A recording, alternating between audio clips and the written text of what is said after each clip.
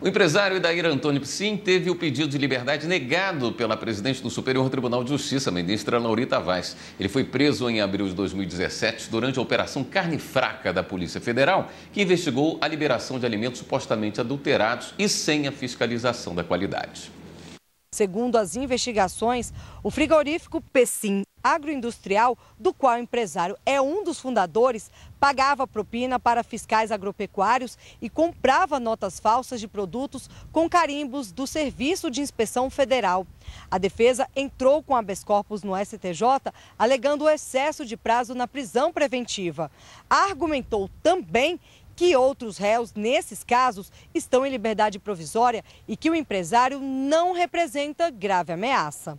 A ministra Laurita Vaz, no entanto, observou que o pedido de liberdade feito pela defesa não estava devidamente instruído, já que não foi anexado aos autos o decreto que inicialmente determinou a prisão preventiva. Dessa forma, não há como reconhecer a ilegalidade mencionada.